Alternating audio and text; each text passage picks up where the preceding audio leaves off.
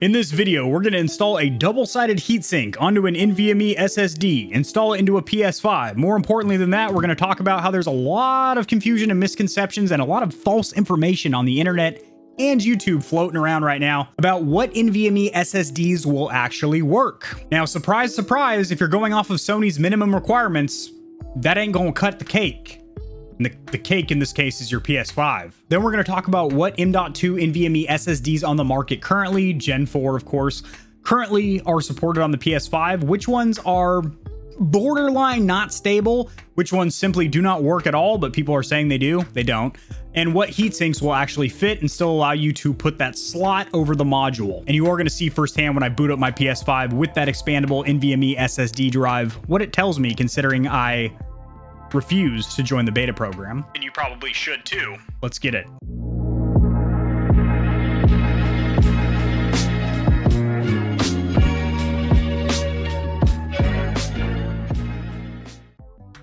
My ergonomics right for this video. Alrighty, Stallions, a good place to start this video would be going over the minimum requirements as recommended by Sony. So sharing my screen over here, we have an article pulled up, and this will, of course, be linked in the description below. PS5 software beta program. If you click on this here, you can sign up right here. Then they will reach out to you with an invite. Then you have two roads in front of you. One involves weeks of painstaking crashes, bugs, and glitches on your PS4 or 5, and the other one is a smooth two to three week transition into the public release. I will cover that topic more in depth at the end of the video. Now this is what we're looking for right here, guys. M.2 SSD requirements. Then this might not look like a link, but it is. Minimum requirements. This is where there's a lot of confusion, even from other content creators out there. So, PCIe Gen 4, there's actually two different versions or two different generations, first gen and second gen of Gen 4. So think of it like a midlife refresh the first generation simply will not work because it does not have the sequential or consistent read and write speeds necessary. Capacity, 250 gigs. I have not been able to find any 250 gigabyte models that have the required read and write speed, not to mention if you're already doing this installation, that is not enough storage. That is literally, that is literally two AAA titles. For 99% of people watching this video, I would strongly recommend that you do a one terabyte upgrade. Two terabytes is pretty pricey. You're looking at about 360 to $400.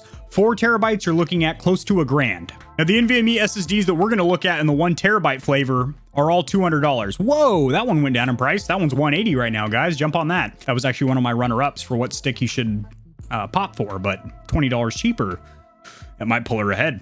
So this is my most genuine advice for you guys. Go with one terabyte. That is a noticeable boost in your storage, but you're still getting the best bang for buck. Now over here, they talk about cooling structure. A heatsink is required, absolutely is required. There's no two ways around it. Now, most of the heatsinks that I have linked in the description below are dual-sided. In fact, the one that we are gonna install in this video is double-sided. So it sandwiches the bottom and the top of the card. So you're getting more heat dissipation, more overall cooling, and there is thermal pads that kind of dissipate that heat even further. You do need a heat sink. It is not um, optional, it's mandatory. Now right here, a sequential read speed of 5,500 megabytes or 5.5 gigabytes per second or faster is recommended. This is their bare minimum requirement. So if you get an NVMe SSD that is rated for 5,500 and it dips below that, mid-game when you're pulling data from that NVMe SSD, prepare for a crash. Now, is it going to destroy your console? Probably not. Most likely, I would say no. It'll probably just reboot, but it's going to keep happening. It's going to keep crashing every time you're playing that game when it shivers below 5,500 megabytes per second. So all the SSDs that I have pulled up here, which are linked in the description below in order of which one I would go for, are all rated for 6,500 or 7,000 megabytes per second, so you're safe there. You don't want to go with the bare minimum. You're, you're, you're really living life on the on the edge there. So as for form factor, 2280 is by far the most common size. That's what all all of these are up here, and that's what we're going to be installing today. And then they talk about the dimensions, which aren't really going to matter for you guys because you're going to use one of the ones that are linked in the description. So there's no second guessing or wondering, is this going to work? All the ones down there work. And they tell you that SATA SSDs aren't supported. Well, I should hope not. SATA SSDs are 2.5 inch drives. It's not going to fit in that little hole. You can try and shove it in there, but it just it won't go. So I have some notes pulled up right here, and the majority of this will be copied and pasted into the description below. So we already looked at this right here, which is the minimum requirements. So there are two NVMe SSDs that have out-of-the-box support, meaning they don't require you to install a heatsink aboard or anything like that. And the one that Mark Cerny, which is the head architect and lead designer who designed the PS5, the one that he recommends is actually the one that we installed here today, and that is the Sam's and that is the WD Black SN850. However, he recommends this one right here, which starts at $550. Now, I have seen him get down as low as 370, but still, you're getting the exact same NVMe SSD here. It's the same, it's the same memory, but we're just going to manually add ourselves a heatsink for about $12 price savings, right? And again, you know, 500 gigabytes, $120. I don't really think that, think that's enough storage. Two terabytes, 300, $400. I'm telling you guys, one terabyte is the money. And then there is another model that is uh, out of the box supported, i.e. it already has a heatsink on board, and that is the Gigabyte Aorus. $400 though, for a top and bottom sandwich style heatsink that you can buy for $15 separately and install on a $200 NVMe SSD. So we're gonna go ahead and close those. This is the one that we're going to be installing today. But if this is sold out for some reason, or you don't like Western Digital, granted, they've been in the memory game for like decades, um, this is also really good. Samsung 980 Pro is still rated for 7,000 megabytes per second. I would trust it. Same thing with the Sabrent Rocket, which is on sale for 180. That it was not when I uh, originally shopped for my NVMe SSD. And again, this is rated for 7,000 read. It's fast. But again, one terabyte, 180, two terabyte, 360, four terabyte, four terabyte, $900. This one's actually rated for 7,500 read. However, I don't know how consistent those numbers are, but this one will get the job done uh, very well. $200. Two terabyte, $450. So as for heatsinks, I'm not going to pull all those up like we just did for the NVMe SSDs because there's not a whole lot to look at with them. But the one that we do use in this video is this one right here. And I do recommend going with a heatsink that is top and bottom. So that way it is dissipating heat uh, a little more efficiently, I would say. And they all include and they all include a double-sided thermal pad, which is basically think of it like thermal paste, but it's a more solid pad that allows you to stick the the memory on there. For the sheer sake of following along with the video, I would just recommend getting the NVMe SSD and the heatsink that I did. So I will say right now, right up front, that I do recommend when you are shopping for one of these NVMe SSDs that use one of the links in the description below. That is not because I care about the two cents of commission from Amazon that I will get for referring you guys with my link. That is because if you type in manually one of these names, you might be safe if you match up the picture and the serial number and whatnot, but there are different versions of PCIe Gen 4 memory. So just to take all guesswork and confusion out of the equation, I've simplified it by putting links in the description below. All right, let's install this thing. All right, boys, now this audio is out of my iPhone 12's built-in microphone, so obviously the quality is gonna be a little subpar. This is uh, basically a simulation of what it was like to watch YouTube in 2009. So what you're gonna do now, Stallions, the first step, and this is very important, you're gonna take your custom AIM or Hex Gaming controller, links in the description below to a little coupon code, or, you know, your standard missionary position controller. You're gonna go ahead and hit the PS button. You're, you're gonna fully shut down your PS5. You don't want to put her into standby mode. You want to shut her down completely. Now, we had a bunch of lightning storms here last week because it was Thursday, and that's pretty par for the course of a Thursday. We had some pretty nasty thunderstorms here last week, and my PS5 actually completely lost power three times within an hour. Um, you know, and I was stupid enough to keep turning it back on to think uh, I can squeeze a little ratchet and clank uh, rift apart in. Um, and it would just shut down completely. Um, it isn't like that very much. The PS4 didn't like it, and the PS5 certainly doesn't like it either. It goes into a little recovery uh, safe boot mode and whatnot. So uh, we're gonna have to unplug this bad boy from the wall to install that SSD. So uh, shut her down all the way. One more for good measure. You guys see me over there? We got two mics, two cameras. I want to make sure you guys see this install from all angles. This is 4D here. This is true PlayStation Inception. First thing you need to do is remove your stand. Now, it is mandatory that you use the stand. That's the first thing it says in the instruction manual, so I hope to God you're using it. If you have it in your entertainment center in its horizontal layout, then it will be held on literally by friction. You can just snap it off like that. If you do have it in vertical orientation, like I did originally with my last entertainment center, then you do have a screw under there with a nice big flat tip. Nice old flat tip.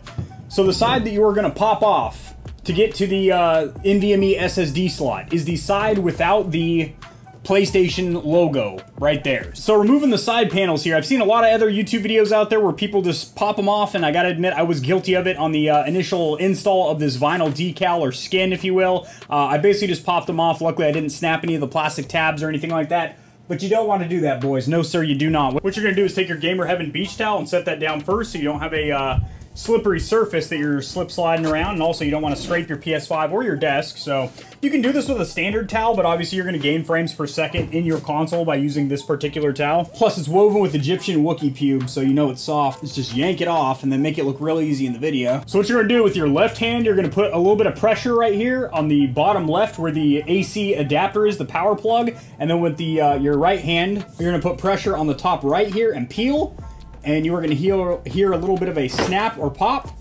and this bad boy is going to pop off and as you can see good we didn't break any tabs or anything sweet. And this is the business end over here. You have your expandable slot for the NVMe SSD if you get a stuck disk in the optical drive uh, if you did go with the disc version, which I strongly advise you do, I have a separate video as to why you do not want to go with the digital only version of a PS5. There's a class action lawsuit going on uh, against Sony considering the only place you can buy digital games is from the PSN. They charge eh, 30 to 60% more than uh, digital codes from other vendors as well as disc versions. Anyway, but if you get a stuck disc, you got four tiny uh, Phillips heads right here, and you are able to actually access your disk drive. You want to upgrade the built-in fan, you do have uh, four T8 screws in here, and you can get access to your fan. So if you want to do some, some basic upgrades, some bolt-ons, we might actually do a full teardown of this PS5 in the near future. But for now, but now what we need is a very tiny Phillips head screwdriver. So, oh,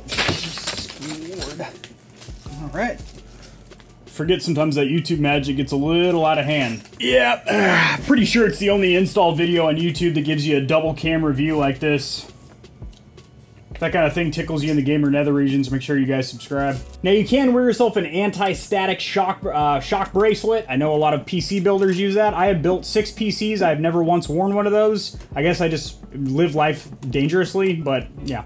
So this is access to our uh, NVMe drive here. Fantastic, fantastic. So we're installing 32 gigabytes of Corsair RAM. Just kidding, that's for another video. That's for the uh, Alienware over here.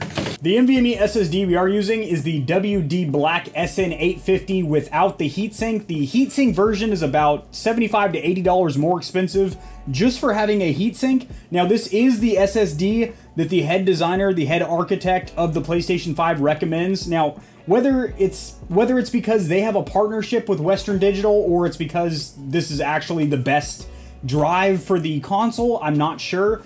Foreskin flap right there. Let's go ahead and put our heatsink on there as this heatsink is going to cover the top and the bottom of our new NVMe SSD, which, which in essence should give you some pretty good heat dissipation. Make sure this bad boy doesn't cook any eggs on you.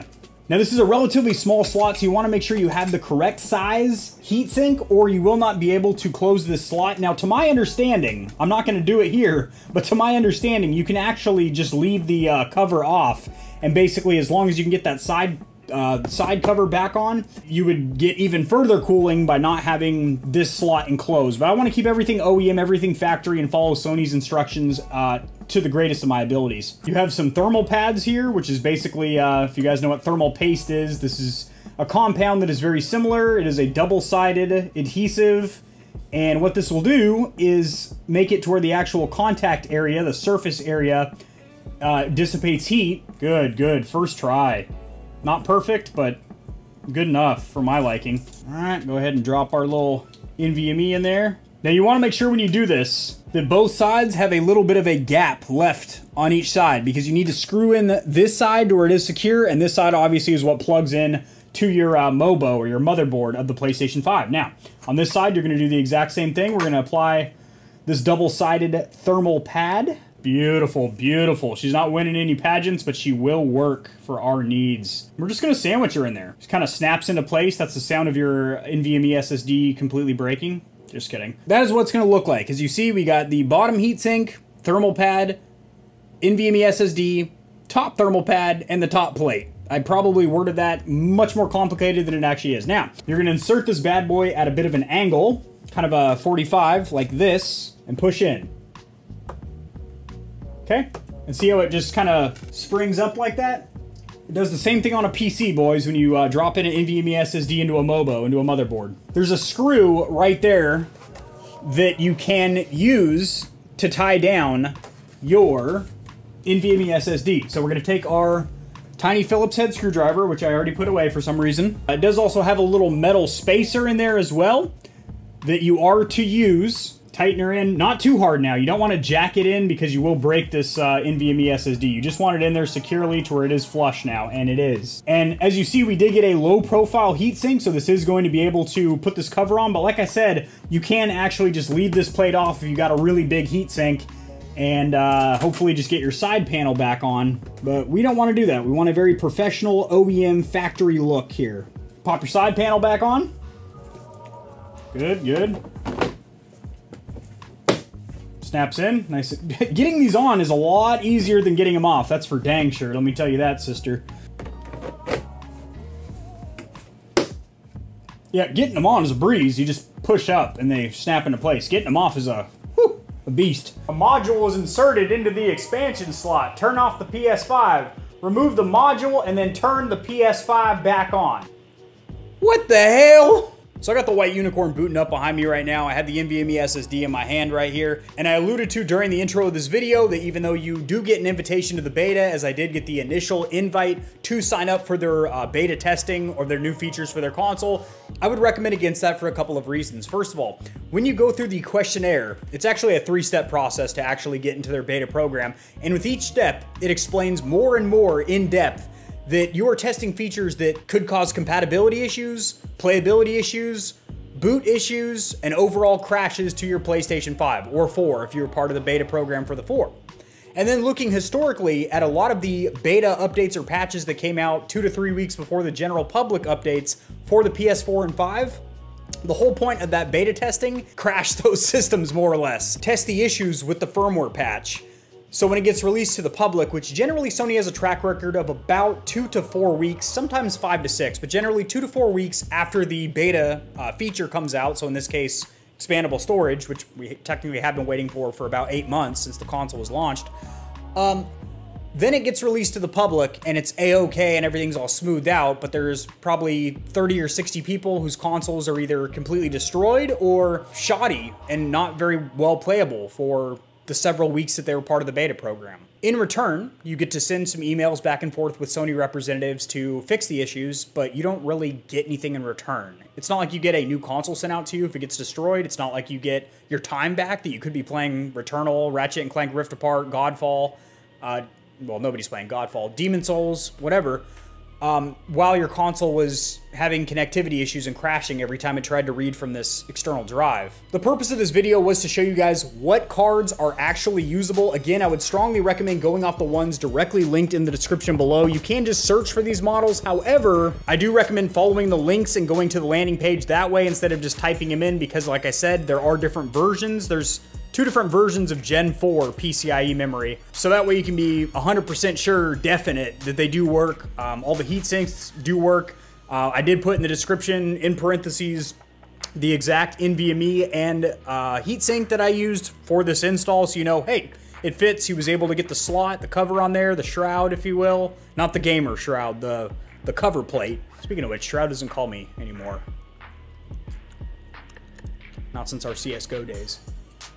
I don't really know Shroud. But I genuinely do hope that this video was beneficial to clear up a lot of the misconceptions around how complicated the install is. It really isn't. Uh, as long as you get the right NVMe SSD, which is honestly the tricky part. Again, I've done the legwork and made it easy for you guys. The compatible ones are linked in the description below. And in my humble opinion, in about two to three weeks, Sony will make this firmware update uh, released to the public out of beta and everyone will be able to enjoy expandable storage. It's not cheap, but it's not too terribly expensive. Uh, the Seagate one terabyte memory expansion for the Series S and X is $220, uh, and that just pops in the back of the console. As we're looking at about $200 for the top three brands for a one terabyte NVMe SSD, and you do have to go through the installation process. But once it's in, it's in.